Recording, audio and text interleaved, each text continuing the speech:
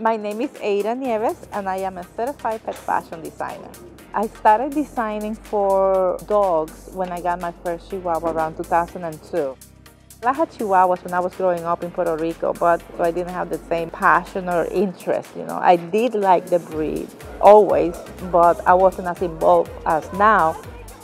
By 2001, my husband was going to Iraq, and he didn't want me to be worried about his traveling, so where he was going. So he got me a Chihuahua. And since then, I became the organizer for the New York City Chihuahua meetup.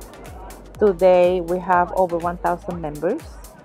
We advocate for Chihuahua rescues. We've done hundreds and hundreds of rescues throughout the years.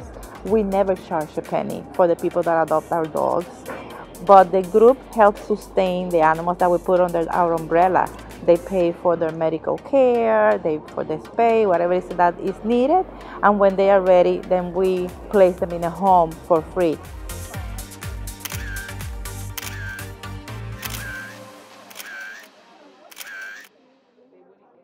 I come from a family of seamstress and, and tailors, so for me it was just uh, very natural to try to do something for my dog that will represent my personality and that will keep the doggy warm.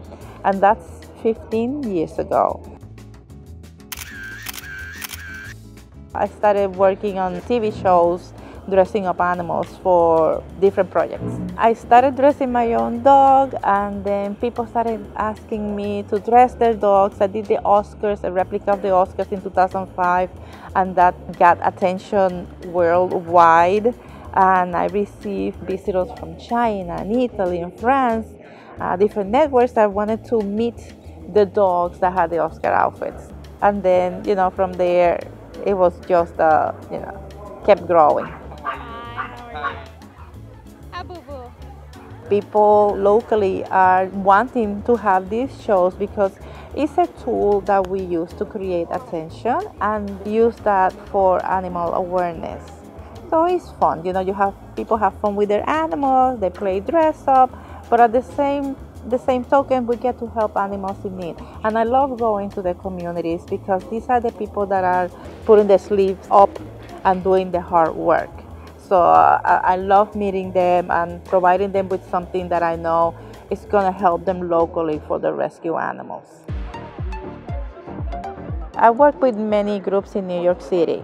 Since 2004, we created the New York Fashion Show as an event to benefit different charity, uh, different rescue groups in the city.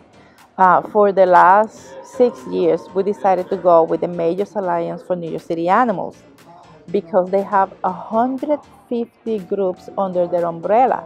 So when we help them, we're not helping just one group with 20 dogs, we're helping 150 groups with, let's say, 20 dogs. So you can imagine the reach that we can work with.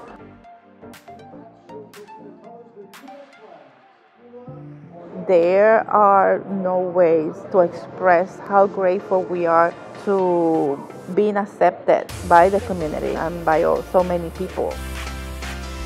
We're here to stay. We're celebrating 15 years. And like I said, my first show, we have 10 people and now has grown and, you know, I'm so happy. Animals for me is part of my balanced world. and I need to know that they are okay. I choose to be the voice that they don't have. I choose to be active for them and, and advocate and, and, and help on my own way.